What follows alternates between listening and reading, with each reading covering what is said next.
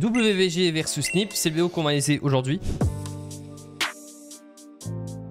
Euh, sachant que ça fait quelques semaines que j'ai pas analysé des matchs pro, donc je suis pas trop au courant de la méta. Je vais regarder les messailles, mais j'ai pas trop regardé les matchs de LPL qui viennent de commencer, donc c'est parfait. Du coup, je connais pas du tout le résultat et on va pouvoir se renseigner euh, un petit peu. Je vois qu'il y a le Skarner qui a été first pick ici. Donc Skarner, c'est un pick qu'on voit de plus en plus. En solo queue, on peut le voir en top lane, on peut le voir en support, on peut le voir jungle évidemment. Et euh, j'ai l'impression que ça se joue un petit peu de partout. Donc first pick Skarner, pourquoi pas Répondu directement par TF Senna. Donc là, pour l'instant, on va jouer que des persos méta un petit peu indépendants. Il y a pas de familles qui sont construites. Aphelios qui va être répondu à gauche plus Nautilus. Donc là, ça part clairement sur une compo super aggro, comme on aime à la chinoise, à gauche. Euh, pour ce qui est à droite, si ça prend Horn je pense que ce serait un Horn ADC avec Senna qui ferait le support. À mon avis, ce serait plus botlane qu'autre chose. Euh, pour garder le TF qui pourrait aller soit mid, soit top, même si on a plus l'habitude de le voir top que mid en ce moment. Donc ouais, voilà, c'est validé pour Horn. En vrai, pour l'instant, j'ai l'impression que chacun a pris plus ou moins ce qu'il valait. De toute façon, pour définir la méta, typiquement là, ça fait quelques semaines que j'ai pas regardé. Il faut se remettre à jour, il faut regarder les pics, il faut re apprendre les match Par exemple, euh, typiquement le match-up Scanner TF, je connais pas du tout. J'ai l'impression que c'est plus l'avantage de Scanner que TF. Et peut-être que je me trompe, dans le sens où TF aura 20 CS d'avance, mais Scanner aura du kill potentiel avec son R quand le jungle path topside. Et en teamfight ou en side lane, il a toujours du, kill pressure. Donc ça, c'est cool.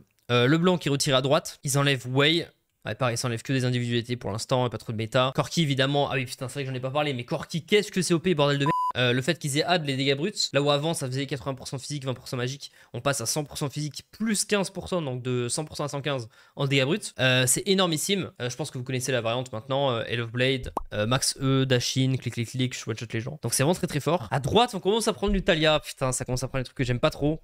Après, ça peut toujours wall off le Nautilus, mais je suis pas trop convaincu du pic. Ça ressemble plutôt à une compo catch quand même à droite, hein. entre le TF, la Talia. Je pense que ça veut beaucoup plus catch qu'autre chose. Ici, on prend Harry parce qu'on a besoin de mobilité évidemment vu que ben, Senna ça a beaucoup de range, TF ça a beaucoup de range et ça catch, Horn ça te catch de super loin, Talia ça te catch de super loin, donc on prend de la range, range mobilité, range mobilité du côté de WBG. En vrai c'est assez intéressant, enfin c'est très chinois dans le sens où il euh, n'y a pas de compo euh, macro etc. Ça joue full catch, que ce soit à gauche ou à droite, puisque Harry peut catch aussi évidemment. Scanner avec son air, bah, évidemment il va catch des gens, et j'ai l'impression que ça veut jouer aggro, invade, into bot side, sachant qu'on va jouer weak side en haut et donc strong side en bas euh, par conséquent. Et chez Nip, à l'inverse, on va essayer de bloquer, on va essayer de scale, on va essayer de jouer à travers notre range ou nos global ultimate sur le Talia TF. Donc double range compo. Et honnêtement, j'ai pas forcément d'avis. Je sais pas ce que vous en pensez, vous, ce que vous préférez.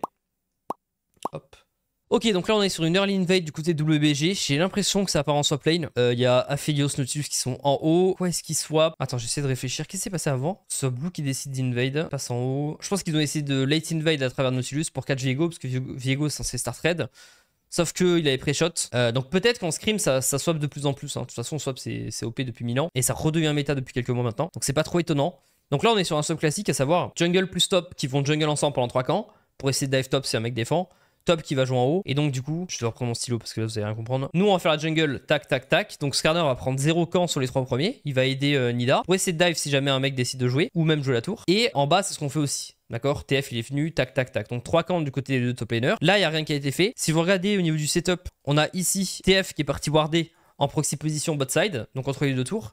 Là où nous, notre euh, scanner a ward le, proxy bush. Into, il reste en lane pour jouer la tour. Et donc, du coup, on va jouer sur une game low economy. Pourquoi est-ce qu'on fait ça? Euh, Je viens d'avoir la réponse en fait, je viens de réfléchir. C'est simplement pour ralentir TF, puisque euh, quand tu joues swap lane, en fait, c'est à l'avantage de la carry et des avantages du top. Et donc si tu joues par exemple Skarner, qui est un personnage low economy, vu que c'est un tank, donc l'économie dans le sens il n'a pas besoin de gold pour utiliser ses outils, là où TF a besoin de gold, d'expérience, euh, d'avoir 116 10 minutes pour euh, être utile, Skarner est sans branle, Skarner il fait presser GG, et donc ça nous permet de jouer top, faire un crash 5, into bot, jouer avec deux épées longues et du coup on va pouvoir bloquer. Donc là on est sur euh, une variante où je vais chercher mes, mes, mes doubles épées into bot side pour cover. Comme ça les mecs ils auront pas la tour. Et moi j'ai pas le TF qui a pu utiliser tout son lead parce que typiquement regarde ce qu'il fait là. Il TP, il TP top. Ah non, c'est Horn qui TP en haut. Ok, donc là, c'est clairement son game super chelou du cul.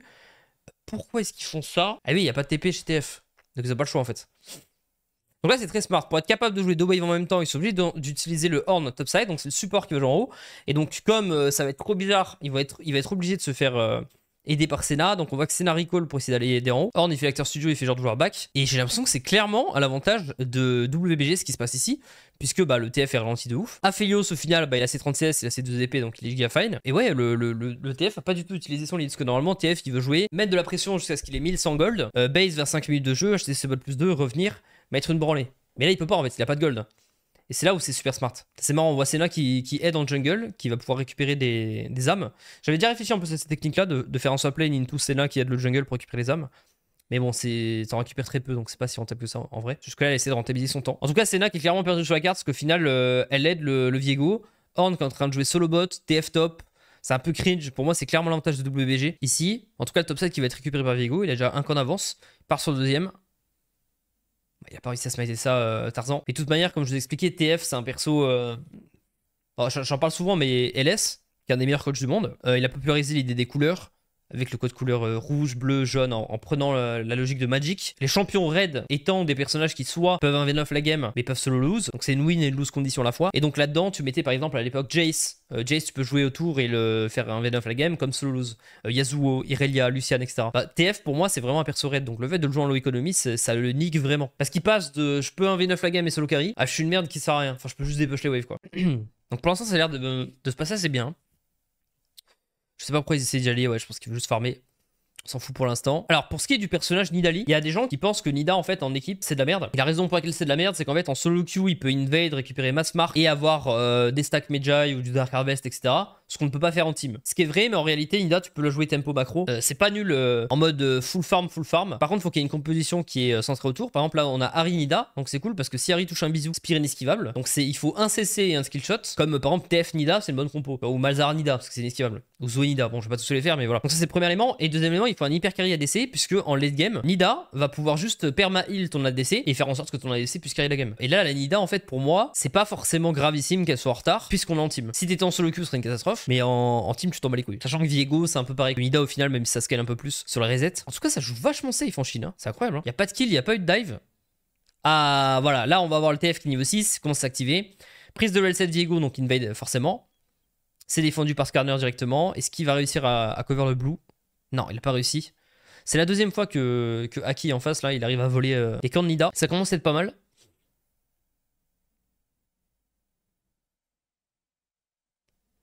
C'est compliqué. hein. En fait, si vous voulez, là, quand on regarde la game, on peut avoir l'impression qu'il y a un Drake de récupérer par Nip, ce qui est vrai, hein. Que euh, il y a des invades qui sont réussis du côté de Viego, que le, TF finalement il a réussi à servir quelque chose, etc. Et pour moi, un TF qui a 70 CS minute 10, c'est une catastrophe. Et euh, si vous regardez Aphelios, il a 100 CS à 65. Ça veut dire que, en gros, regardez, un play, vous devez comprendre comme ça. Moins 20, plus 30. Et en gros, vu que c'est nous qui avons initié, bah forcément on a décidé de mettre strong side notre Aphelios, weak side notre top. Et donc moins 20 plus 30, on voit que c'est clairement l'avantage de Aphelios. Sauf que Aphelios c'est un hyper carry, oui. Et euh, TF, en fait, on peut avoir l'impression que TF est à plus 20 là. Mais pour moi, il est à moins 20 en fait, si vous voulez. Parce que normalement, TF à 10 minutes, il a 100 CS, il en a pas 70. Là où Aphelios, il aurait 100 CS dans tous les cas en fait. Donc en fait, c'est clairement l'avantage de WBG, ce qui se passe ici. En tout cas, pour le mid-game, late-game, je pense qu'ils vont beaucoup plus euh, scale. En early, euh, ça peut se décider ici. On va voir au niveau du teamfight, Nida qui récupère, qui va bien smiter. Horn qui fait une super engage ici, follow-up par Talia directement. Attends, je reviens derrière, qu'est-ce qui s'est passé là Hop. Pour moi, faut, faut- fallait pas contester. hein. Je vous ai dit, c'est Aphelios la force de l'équipe. Et pour lancer les juste BF, ça sert à rien. Waouh, regardez Horn son teamfight en vrai. Il a R les trois. Là, il a re-R les deux. Bon, après, le, fight était déjà win. Mais en vrai, c'est vraiment un très gros teamfight de sa part. Ouais, Light qui fait un super flash ici, heureusement d'ailleurs. Se été catastrophique. Ok, du coup, deux, kills euh, récupérés par euh, Nip cette première action. Un sur Scanner, un sur Nautilus. Bon, les frontlines évidemment hein, qui vont se faire baiser à chaque fois. Maintenant, euh, il y a toujours aucune tour de PT. Donc ça se tourne assez bien. Sur le scanner, je pense que plus la game va avancer, plus il va être fort. Donc je me, je me fais pas trop de soucis pour, euh, pour l'équipe de gauche. Je pense que le deuxième dragon va péter. hein. À mon avis, le Viego Kraken, euh, voilà, tu peux pas trop contester ça. Archange Talia, je suis un peu content parce que ça fait 1000 ans que j'arrête pas de dire qu'Archange est ultra broken. L'info vient pas de moi d'ailleurs, elle vient de Chani. Même si je pense que tous les bons joueurs qui ont déjà regardé les chiffres sur LoL ont compris que c'était broken. Et euh, on le voyait pas du tout. C'est D'ailleurs, c'est une question qu'on se pose avec Chani. Pourquoi il y a personne qui joue Rise et Cassio alors que Archange est OP les deux persos profitaient énormément d'Archange, euh, bah on sait toujours pas. Euh, Pour nous, c'est fondamentalement des persos broken mathématiquement actuellement. C'est juste que les gens ne s'en rendent pas compte. Et là, je suis content de voir des Talia qui commencent à sortir du Archange, donc ça m'étonnerait pas de commencer à avoir des Archange players. En tout cas, la deuxième tour qui va être récupérée topside par WBG ici. Je pense que sur ce base, Aphelios va commencer à être sympa. Et dès le troisième Drake, à mon avis, il va pouvoir commencer à contest. Parce qu'Aphelios, dès deux items, ça, ça tape vraiment. Là où les compos de type euh, Senna, Horn, etc. En fait, plus la game va continuer, paradoxalement, moins ça va être fort. Donc ça, ça va être complexe pour eux. Je pense qu'ils vont perdre Herald. Il y aura sûrement un dernier euh, Herald push qui va prendre tour, soit top, soit mid. Into, on va voir le, bah, le Drake 3. En tout cas, là, on peut voir que euh, Nip n'arrive plus du tout à invade la Nida, malgré le TF, malgré euh, le Viego Fed, etc. Donc là, le jeu, il est lock. hein. Pas au niveau des goals, on peut voir. Ouais, il y a 25 000 à 25 000. Vous voyez, c'est- clairement even. Alors là, c'est un spot à connard du côté WBG, j'ai envie de crever. Euh, je sais pas pourquoi il fight ici. CC une tout skill shot que je vous expliquais tout à l'heure. On a réussi à choper TF. Mais voilà, il va mourir Ce spot là, je vous l'annonçais avant même de voir le fight, c'est, on connaît, hein, c'est un gros fight de merde. Ok, donc là, cette fois, on a Horn qui fait euh, un catch sur Nautilus, suivi par Talia. Ouais, bon, catch into catch into catch. 5-0, ça a commencé à faire mal. C'est dommage qu'il fight que maintenant. Je sais pas. Je sais pas pourquoi ils ont fight aussitôt. En tout cas, Harry qui essaie de faire un catch sur Senna, c'est bien esquivé. Ouais, il joue bien en face. Hein. Il esquive bien les timings. Ok, peut-être un petit 1v1 du côté de la top lane. Non, il n'y arrive pas. Allez, qui est défendu, le Q esquivé. Quoi? Non mais c'est un malade. Regardez ce qu'il a fait. Il y a avec une blue card. Oh, waouh Allez, il a fait R. Je Z, je prends une, une, gold card. Hop, il s'est trompé. Il a pris la blue. Flash out, il meurt comme un connard. oh non, c'est trop, putain. La déception d'un homme. Vous savez que cette petite erreur peut faire changer la game parce que euh, jusqu'à présent, il n'était pas forcément euh, fed. Là, il vient de prendre un level complet puisqu'il vient de tuer un mec qui était niveau 11 en side lane. Et non seulement il tue, plus il push la next. Donc il va commencer à être strong. Qu'est-ce qu'il fait par contre? Pourquoi il fait brillance Il part sur un Bane 2. Ça me paraît un peu cringe comme stuff. Euh, du côté de Harry. Et bon, pourquoi pas. En tout cas, Horn qui mise son R ici. C'est très bien vu. la perte du, du, R de Horn avant le teamfight, ça peut permettre à WBG de rentrer. Euh, et Light, on peut voir qu'il part sur un collecteur démonique, euh, Dominique, pardon. Et donc, il est en Gigaspike. C'est le seul qui a deux items ici, ce que je vous expliquais, hein, que le, le, fait de swap, ça va te permettre de fast ton économie à toi et de ralentir l'économie adverse. Du coup, ils sont tous à 1,5, 1,5, 1,5. Il a deux. Faut juste pas qu'il se fasse catch par contre. il a son flash, donc ça devrait aller. On va revenir derrière, Shao qui se fait attraper. On va revenir là, où ils arrivent en retard. Putain, ils peuvent pas le voler. Ok, 3 Drake de retard là, ça commence à faire très très mal. Pas pour le buff de Drake, mais parce que euh, maintenant on peut juste dire bon bah mec, je fais un Drake, j'ai gagné. Mais euh, maintenant en WBG, comme je vous expliquais, ils sont plus forts. Donc là, ils ont déjà pris deux tours en haut. Sur le move Drake into reset, j'ai l'impression qu'ils essaient de jouer la, deuxième tour bot. Le problème, encore une fois, c'est que Aphelios n'est pas là. Le membre fort de leur équipe sont, est, pas là. Donc là, eux, euh, ils vont essayer de contester ici.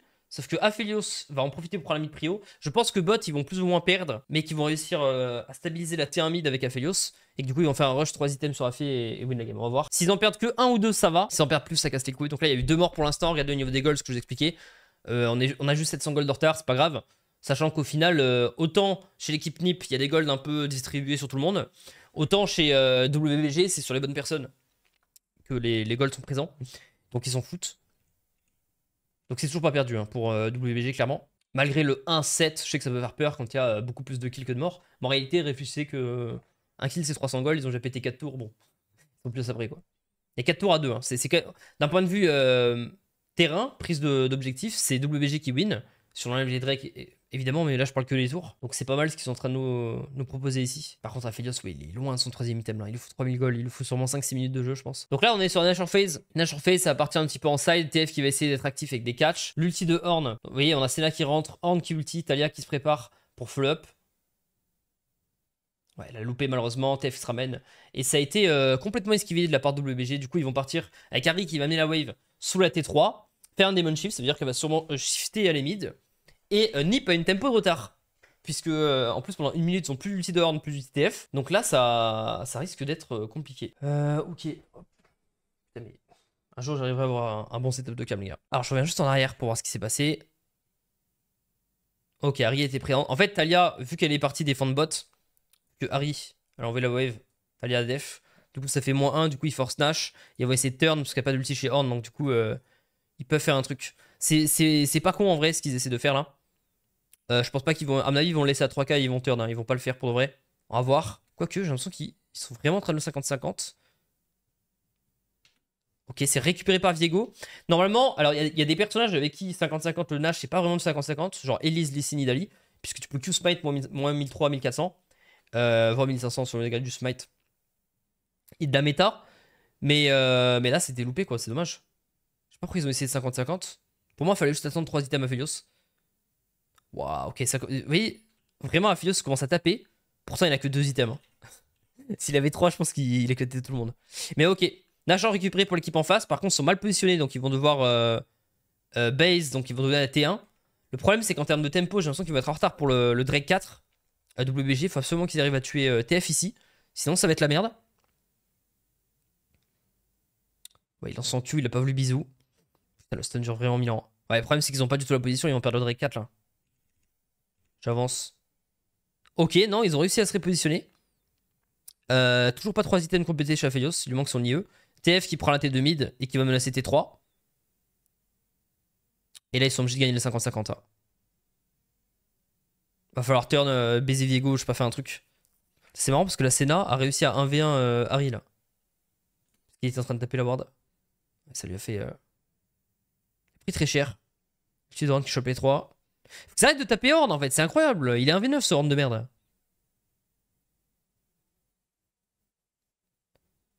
Ok. Il, il doit tout donner Tarzan. Voyez, il a essayé de Q-smite à 2000, mais ça n'a pas, pas marché. Putain, c'est dommage. hein. Les 4 breaks récupérés par Nip. Aki, il a vraiment été trop fort. Sur cette game, vraiment, en termes de smite contest, il lui a volé deux camps dans sa gueule et deux nashors dans sa gueule. Ça veut dire qu'il y a eu 4 fois un smite contest. Le Vigo l'a réussi 4 fois. Je sais pas si vous vous rendez compte, mais ça n'a aucun putain de sens. hein. il est vraiment euh, très très chaud dans cette game. C'est des games un peu random. Euh, mais bon. Au il arrive assez bien. En tout cas, Crisp qui se positionne tout seul topside en first. On arrive à choper Horn ici. Il a plus de Z, donc il peut plus cancel. Il se refait bisous. Il va pouvoir se faire burst. Ouais. Scanner qui va, je pense qu'il peut, peut pas le défendre, sinon il peut insect tout le monde. Donc là, ça va être catch, ça va être récupéré. Je crois que Light a récupéré son troisième item vu qu'on a 25. Non, toujours pas. Ok, Shao qui loupe. Tiens, récupéré. Et vous voyez que malgré les 4 Drake, le Nashor et tout ça, bah c'est quand même WBG qui arrive à push. Et c'est le principe des compos catch en fait. C'est que quand tu joues une compo euh, qui catch, et ben euh, si t'arrives first sur une position, tu gagnes. Et en fait, t'es pas trop corrélé à euh, ah ils ont Nashor, j'ai perdu. C'est plus une question de tempo en fait. Est-ce que je suis arrivé first, que j'ai catch? Si tu catch, tu peux win. Si tu catch pas, tu as perdu. Ah, là, ça nous fait plaisir. On a qui vient de valider son troisième item. J'ai hâte de voir le prochain fight. Aphios, c'est un perso que j'aimais pas du tout au début. Et, euh, après, je pense un peu comme tout le monde. hein. Je vais dire une phrase de Gigakazu, mais une fois que j'ai vu Gomayuzi le jouer pendant les Worlds, j'étais en mode putain, mais c'est trop stylé, Aphelios. Vous savez, je pense que vous en rappelez, mais quand il commençait à le sortir, euh, Nami, Aphelios euh, Lulu, et le gars, il, il était en. Bah, pas un 1v4, du coup 2v4, mais il éclatait tout le monde en fait. C'était ouf. Bon, le scanner, il a l'air d'être un peu tanky quand même, malgré l'infernal, tank un peu. hein. Mais là, on voit qu'ils n'arrivent pas à avancer. hein. En fait, ils ont trop peur d'avancer parce que Harry, elle peut faire euh, bisou into euh, rotation de 600 cc. Du coup, ils, ils veulent pas se positionner, ils veulent juste jouer le Drake 2. On a toujours pas 3 items chez euh, Senna. TF un build euh, particulier, full crit. Ah, ils osent pas le lancer. hein. Il y a combien de blue trinket à gauche? Il y en a plus. Il a plus de blue trinket de up, donc là, il va falloir faire check. hein. Là, normalement, Nip, il devrait push euh, Shen Nash. Il pourrait aussi le, delay, il le faire à deux. Mais le problème, c'est comme ils ont que un tank, si Horn n'est pas mid, bah, il va pas prendre le push. Et donc, euh, ils sont un peu bloqués, quoi, par le temps, encore une fois. Maintenant, il n'y a pas de vision du côté WG. Donc, c'est Shao qui va prendre le, le flank, vu qu'il a 3 ultis, euh, enfin 3 dash, ça aide un peu. Là, ils vont rentrer, je pense. Ils attendent que TF push pour rentrer. Le problème, c'est que TF va faire son ulti, ils le savent. Ah, Shao qui peut rentrer sur Rookie, je pense? Il laisse pas. Il rentre, il a pas le choix, il y a, TF qui est trop chiant. là. Qu'est-ce qu'ils font? Ouais, ils n'y arrivent pas. C'est un bon move de la part de TF là. Il joue très bien son, jeu speed push. hein. Il est insupportable. Hein. Ok, là, il commence à balancer son R. Il va pas prendre l'inhibiteur, il va juste se casser tranquillou. Il a fait un move tempo technique où euh, il récupère la T3. Into, il ulti défensif pour sur Nashor. Et WBG, au final, qui ont, qui ont pas surréagi. Comme moi, j'aurais fait en mode vite vite, c'est la merde. Ils ont juste perdu une T1. Une T3, pardon. Euh, Tarzan qui fait un super flash ici, qui esquive tout. Ok, il y a plus de Edge of Night sur Photic, donc on peut le, le focus là. Il peut prendre sa branlée Photic, voilà, c'est flashé directement. Il se fait une sec par Scanner, ça va être récupéré qui donne un reset à Harry du coup. Ok, premier récupéré, peut-être deuxième ici, no flash horn. C'est pas mal ce qu'ils font, je pense qu'ils vont enchaîner par un Nashor, hein, parce que là TF va menacer T3 mid évidemment. Euh, et eux ils vont faire un Nash, donc on va re 50-50 face à Aki. Ok, bon, Aki il va pas nous faire. euh, euh, j'ai envie de faire une blague avec Yakitori, mais bon, bref. Je, vais me calmer. Il, va, va pas nous faire la spéciale à chaque fois. Par contre, le stuff, je comprends pas là. Pourquoi il fait Kraken Black Cleaver C'est quoi ce stuff là? Non, mais les mecs sont bourrés du stuff en fait. Il y a une Harry Lichbane, je crois, en bas.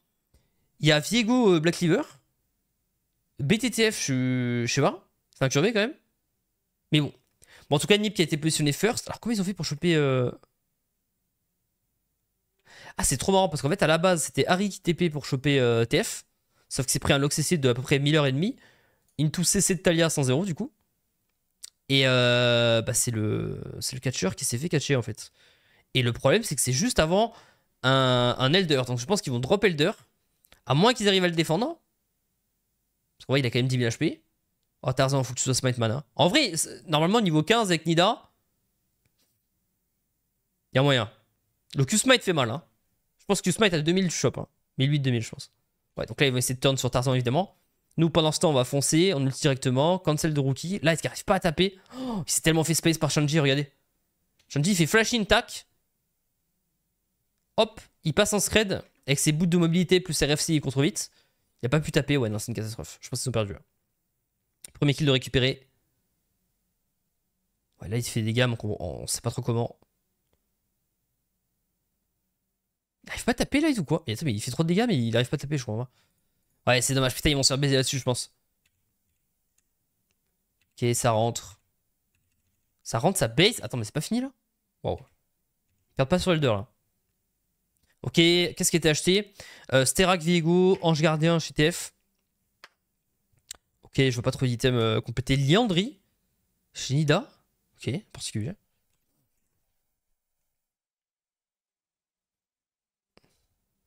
Ok. Bon, un ulti qui va être pété pour prendre les top. J'ai l'impression qu'ils défendent bien en fait WBG, du coup ils arrivent pas à jouer leur Elder quoi. C'est que c'est toujours pas perdu, un autre joke. Hein. C'est trop fort en l'état. Après c'est là aussi tu me mais... Ok, le troisième inhib qui va péter. J'avance. Bon, il défend de fou. Ah c'est quoi ça? Qui c'est qui fait sa meilleure TP là? C'est Shao je crois. Ok, Shao qui va essayer de choper euh, TF. Ça a été vu, hein. il y a noir directement. Ah, il a fait semblant d'aller sur TF. Il touche sur Rookie, mais il n'arrive pas à rentrer. Brief, c'est qui? Scanner a réussi à rentrer. Aphios Waouh, attends, il y a le rombo d'Aphios qui part. Premier kill. Deuxième, je pense, sur Horn, ça doit tomber très vite, ça. Il est en shotgun. Ouais, le problème, c'est que TF est insupportable. Hein. Ok, Tarzan qui arrive à rentrer. 2 pour 2 pour l'instant. Peut-être. En vrai, c'est. Ah, des deux Wow, ça joue super bien. Ok. Ils arrivent vraiment. Non, mais attends, c'est incroyable. Si win cette game, c'est une masterclass, vraiment. Masterclass de défense qu'ils ont fait là. En fait, il y, a trop de mecs qui ont trop bien joué là. Le truc, c'est que Brief, déjà. Mais comment il a réussi à rentrer là? Ok, il a juste rien à foutre, il a tout esquivé. Ah, le fait qu'il chope la Senna comme ça, qu'il te ramène les deux, il est lock sur place into RRRRR, c'est insane. Par contre, Tarzan, j'ai pas envie de faire ma balance, mais j'ai l'impression que tu heal personne là, non? Ah non, ok, t'avais heal euh, light. Ok, non. Il a loupé sa spire en fait. Flash out, level heal, hop.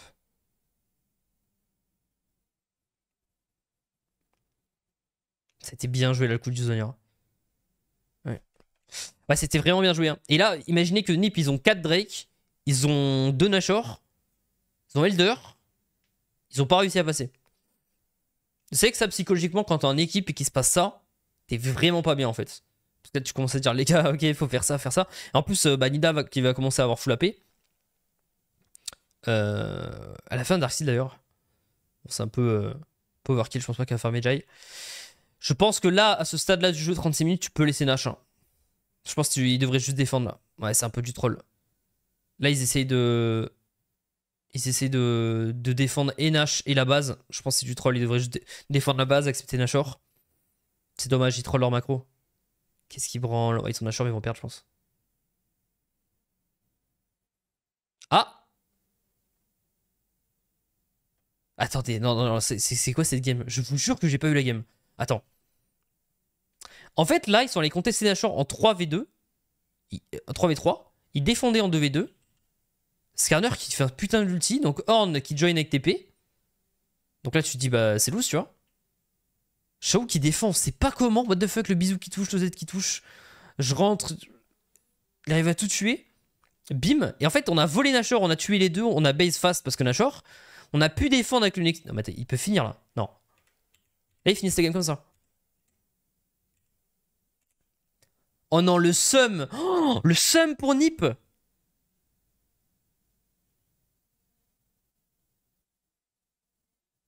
Ah non, mais je suis sur le cul, les gars. Non, mais c'est quoi cette game là? Ouah, c'est quoi cette merde? Vous savez que là, là, parce que normalement, euh, c'est genre un BO3 ou BO5 sur le match. Mais t'as envie de crever en fait, t'as plus envie de jouer là. Genre, tu viens de faire ça. C'est-à-dire pendant 40 minutes, t'as bien joué, t'as fait Drake, t'as reset, t'as fait Drake, t'as reset, t'as fait des tours, Drake, tour, Drake, Nashor, Elder, Nashor, machin. T'arrives pas à finir. Le Nexus, il a 2 HP, t'y arrives pas. Alors moi, ce que j'aime bien me faire en match compétitif, parce que ça m'est déjà arrivé des trucs très très similaires, c'est pour me faire du mal, je re-regarde l'action et je comprends pourquoi on n'a pas fini. Il y a toujours un mec qui misclick, euh, qui fait des trucs un peu euh, qui servent à rien, tu vois. Par exemple, là, typiquement, je vais vous montrer un truc. Euh, Shanji, typiquement, scanner à 100 HP, du coup il est out. Donc en fait, qu'il ait 500 ou 0, c'est quasiment pareil. Sauf que faire ces 500, c'est genre 7 autos. Et en fait, ce qu'il faut normalement dans ce genre de cas, c'est que tu tapes juste la tour, tu fais tour, tour, GG. Et je pense que là, il s'amusait en fait. Et euh, bah, du coup, c'était pas fun parce que bah, il a perdu. Donc, c'est un peu dommage. Je pense qu'ils auraient dû tous taper la tour. Ça fait tour, tour, c'est pas mal. Je pense que c'est juste TF4 roll. Hein. Putain, c'est horrible. Bref, en tout cas, cette game, euh, cette game qui se finit assez bien. Bon, au final, euh, content de voir que le swap lane revienne dans la méta. je trouvais ça assez pertinent. Au niveau du stuff, je suis un peu mitigé par contre. Il y a des stuffs un peu particuliers à droite à gauche. Mais, euh, mais overall, le gameplay est sympa. En tout cas, c'est une game que je m'attendais à voir en, Chine. Ça m'étonne pas du tout ce que je viens de voir. Skarner, je suis... j'aime bien le pick. Parce que honnêtement, il a moins 100 CS. J'ai trouvé qu'en teamfight, il était casse-couille. Parce que tu pouvais pas le bloquer. Il arrivait quand même à cesser des mecs, les attraper et tout. Et euh, malgré le fait que euh, Chunji a une super macro avec son TF, parce qu'on rappelle quand même qu'il a eu un early de merde, il était à moins 30 CS cause du swap, etc. Et ben il a réussi à, bien se refaire. Maintenant, faut pas oublier que WBG dans les faits, ils ont giga int leur early game, ils ont donné 6-7 euh, kills gratuitement à l'équipe adverse. Ils auraient pu juste attendre, attendre, attendre à Philios 2 items GG. Mais euh, j'ai hâte de voir ce qui va se passer dans la prochaine game au niveau du BO. And grace.